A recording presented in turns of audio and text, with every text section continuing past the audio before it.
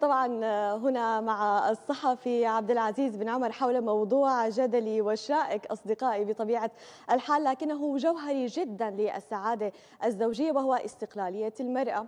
وأيضا يعني منافسة المرأة للرجل، هل نجاحها يهدد نجاحه؟ وما إلى ذلك، كل هذه التفاصيل طبعا بداية حلقتنا ستكون بهذا النقاش الحامي طبعا. وبرجع لك مرة ثانية عبد العزيز صباح الخير. أهلا وسهلا. أهلا وسهلا يا مرحبا. نحن من قبل يعني. على الكواليس وقاعدين عم نتناقش بهذا الموضوع لأنه فعلا موضوع كثير يعني خلينا نقول يمكن يمكن ها بيهدد خلينا نقول نجاح الزوج يعني أو نجاح الرجل، هل أنت بتشوف هذا الشيء هيك من يعني من اطلاعك ومن تجربتك بأنه نجاح المرأة في عملها هل بيهدد نجاح الرجل ولا لا؟ صراحة هو يهدد ولا يهدد كيف يعني؟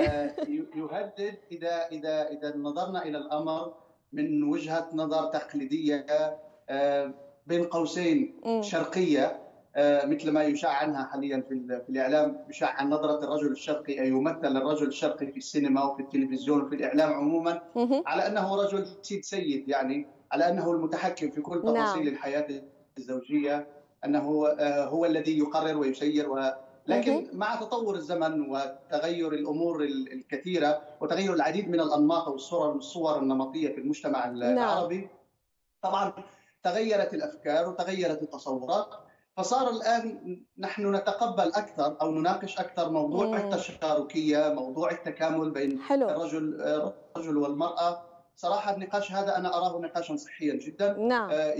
يضع الإصبع على الجرح ويعالج الموضوع من من وجهة نظر نعم. منطقية من وجهة نظر تكاملية.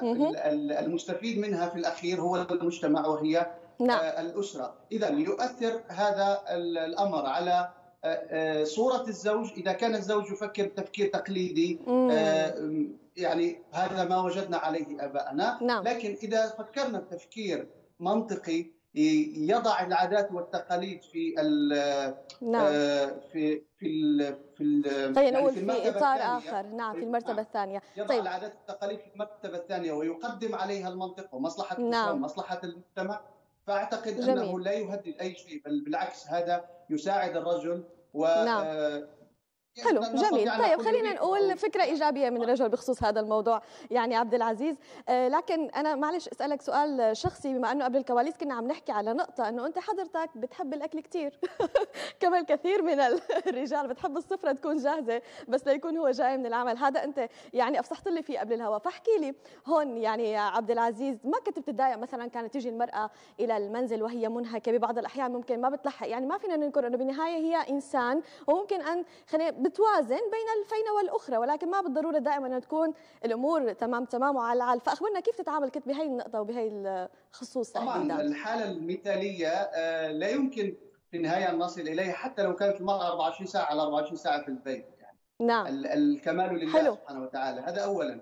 ثانيا الأمر الثاني أن هذه الأمور لا تقاس برضا الزوج فقط أو رضا الزوجة فقط إنما هذه الأمور يوصل إليها بعد اتفاق بين الزوجين نعم. يعني حينما تقرر زوجتي أن تعمل مثلا أو تخرج من البيت أو تقضي نصف وقتها اليومي خارج بيتها نعم. فهذا طبعا يكون بالاتفاق وبالتشاور مع زوجها شريك حياتها في نعم. النهايه هذا الاتفاق سيفضي إلى التنازل بعض التنازلات في في الأمور اليومية البسيطة جميل. انك إذا جيت على البيت وما لقيت سفرة جاهزة ولم تجد ما تشتهيه من الأكل فلا يمكن فلا يمكن أن يغضبك هذا لأنك أنت اتفقت مع زوجتك نعم. وتنازلت عن هذه الأمور. فأعتقد من الناحية من الناحية العقلية المنطقية أن يتقبل الزوج هذا. جميل. وإذا لم يستطع أن يتقبل يعيدون فبيتاقلم إذا ما تقبل بيتأقلم. بنهايه الأمر هاي الأمور فعلا هي بتؤدي للسعاده الزوجية. رح كمل معك الحديث عبد العزيز أكيد.